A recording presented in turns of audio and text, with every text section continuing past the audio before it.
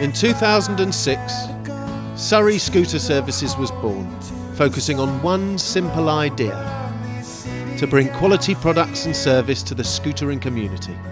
A passion shared by both Mick Gauntlet and Dave Barrett, founders of Surrey Scooter Services.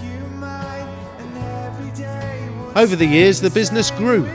They moved to a new premises, hosted scooter rallies, and also began cutting their teeth as one of the best custom scooter creators in the UK, as well as undertaking all their usual quality restoration work.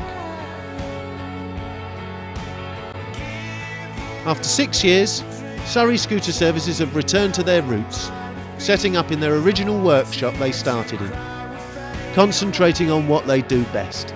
After six years, we've realised where we we're heading, and I think our heart was more into the the one-off uh, custom and tuning, uh, fabrication, and that sort of thing. Really, then retail, and I just think you know it's where where our heart is. I mean, that's what we wanted to do. We've been commissioned this year uh, for two more street races uh, and two more classics, and basically, it just you get some sense of achievement out of it more than selling racks and sort of mirrors, which is no offence to that, but that's not where our heart is.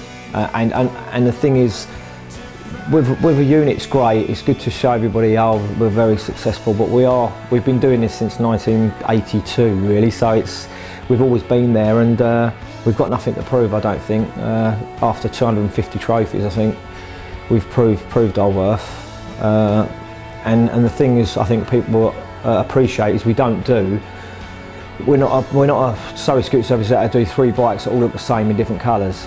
We don't do that, and, and, and, and we're honest about it. We, everything we do it has to be different from the last one. So when you see them on the street, you know it's a Surrey Scooter Services bike.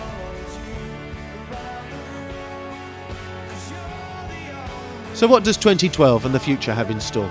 Uh, we've got this one for a guy we're just doing in South London.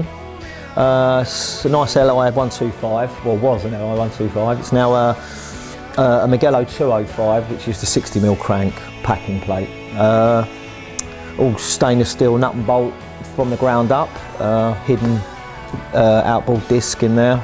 It's all hidden behind the horn cast, and so it looks completely standard. Lovely, all the panels are not here at the moment, the tins, we're having really nice little paint work done on that, paint trick, you know. Uh, got about three or four engine rebuilds on the go at the moment, tuning and that. Uh, the one behind there, uh, for a guy, but you know, it's all good, all good. So this is Surrey Scooter Services. One simple idea.